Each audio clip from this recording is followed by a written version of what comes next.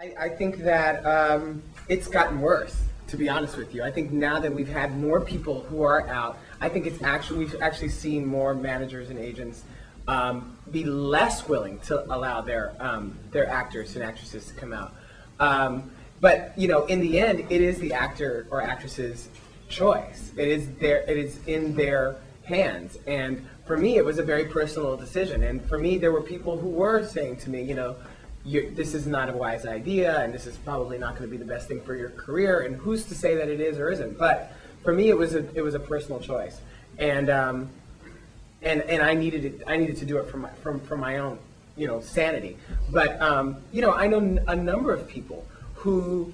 Um, who you know are, are who want to come out and and want to live a, a very normal life and are incapable of that. They're afraid of losing their agency. They feel like they'll be dropped, and it's not an easy um, uh, time to, to shop around for agencies these days when they're all kind of becoming. Um, there's like there's they're all they're all kind of joining hands. How do you feel like Um, it has impacted your career?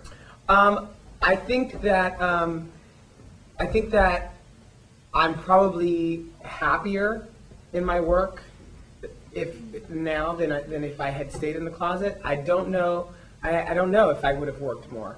Um, I know that I continue to work and that I've been continually working for 13 years, and I don't know a lot of actors who can say that. So, I mean, I can. I'm I'm thrilled with that prospect. Um, But you're But- good but- too, so. I am, and, um, and you know, but you know, I'm I'm I, What do you tell other actors that ask you? I tell. Like tell when you and someone are in bed and after you're, yeah, he's good, and uh, he's my favorite. And um, well, you know what I tell they, and I do get asked this question a lot. I I tell them to make sure that they're doing it for themselves, for very personal reasons.